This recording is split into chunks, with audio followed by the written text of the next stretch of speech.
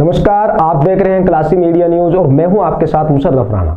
चलिए शुरुआत करते हैं इस वक्त की बड़ी खबर के साथ। उन्नाव जनपद में छह विधानसभा वाली एक सांसद लोकसभा सीट है, जहाँ के सांसद है भाजपा सरकार के फायर ब्रांड नेता साजी महाराज और सदर विधानसभा क्षेत्र में आती है।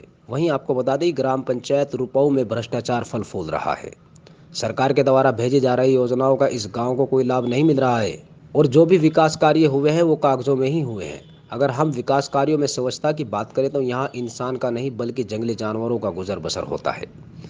गाँव में सड़कें गायब होकर गड्ढों में तब्दील हो चुकी है। नालियों का नाम निशान नहीं दिखाई पड़ रहा है। साल के 12 महीने नालियों का गंदा पानी सड़कों पर जमा होकर बीमारियों को दावत दे रहा है। वहीं ग्रामीणों का कहना है कि चुनाव के टाइम पे सांसद, विधायक वोट मांगने यहाँ पर आ जाते हैं, लेकिन हमारे क्षेत्र में आज तक कोई विकास कार्य नहीं करवा पाए। बिछिया की ग्राम सभा है रुपऊ। जहाँ पर विकास कार्य शून्य है। कोई भी विकास कार्य नहीं किया गया है। नालियाँ बजबजा रही हैं, सड़कें टूटी हुई हैं। जो भी शौचालय बनाए गए हैं, वो भी अदबने पाए गए हैं।